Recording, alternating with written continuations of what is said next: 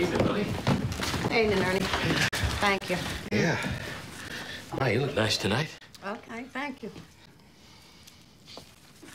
Oh, let me get that. Thanks, Ernie. Okay. See ya. She tried to buy a lottery ticket at the liquor store. That didn't work, so she came to me, asked me to do it for her. Did you buy the ticket, Ernie? Considering how she looked, I thought it'd be better if I brought her home to you first. See what you wanted me to do. Thank you for that. Call me if you need me, Millie. The captain and I are old friends. Friends is a funny word. I'm looking for Charles Bach. Bach? He's been on your payroll for 10 years? You wearing a wire, Lieutenant?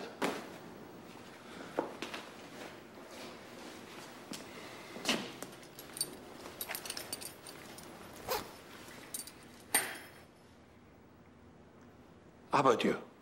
No. I haven't seen Charles in three years, not since my trial. I heard he went freelance. Frankie, you've been known to hold a grudge. Not this time. There was some talk on the street the fight might end prematurely. We moved some money around, adjusted the odds. It was actually one of the biggest paydays we ever had. I got no beef with Ray Regis. I am trying to save the kid's life. I don't know very much. Somebody was shopping a contract. I don't know who, but it was serious. Uh, Your Honor, may I? Uh, Yes, you may. uh, I'd like to uh, request a 24-hour stay so that my clients may prevent evidence to. uh, Present or prevent? I'm sorry, forgive me, Your Honor. Let me correct myself. So my clients may present evidence to support the fact that they indeed had every intention of making a movie. Objection, Your Honor. Your Honor, I can explain tomorrow. Believe me, it'll, it'll all be clear tomorrow. You don't have to apologize, just lose a couple of pounds. Thank you, Your Honor. It won't open, Vin. Show them what's got to be done. You got to go. And it's hard. I mean, you know, I could tell you stories. Where's your boyfriend, Miss Martinson? You know, if there's a problem, Vinny said, Mario, take care of it. Boom, it's done. It is done. Time to go. Come on, Vin, five more minutes. Come on. Who's that guy parked out front? Oh, he's just a friend of mine. Well, your friend came by earlier and jacked me up looking for a guy named Blake. Did you did you let him inside? Yeah, to prove you weren't here so he didn't blow my face off. What'd you what'd you say to him? He had a pretty convincing gun in my face. Look, Dave. You in some kind of trouble, Stephen? You need me to call the cops? No, no, I'm in no trouble. I'm sorry I got you involved in this. There's no need to call the cops, okay?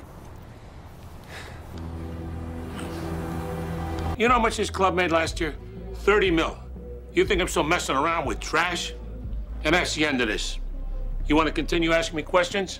You're gonna have to do it with my dream team present.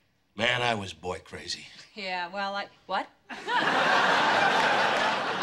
Wasn't until I moved in with Frank that I got real serious about my job. I saw you give him flowers one day, but I thought it was just a union thing. Together for 18 years in March. I think it's best if we, we don't mention this to your father. Our, our Kiwanis picnic is coming up in, the, in a few weeks, and uh, him and I are partners in the three-legged race. Okay, good, good. So, wow, wow. Well, how come you don't advertise in the gay yellow pages? Do you really want to see me in a Speedo? and what happened? They ambushed me with this, this big story on Bucks.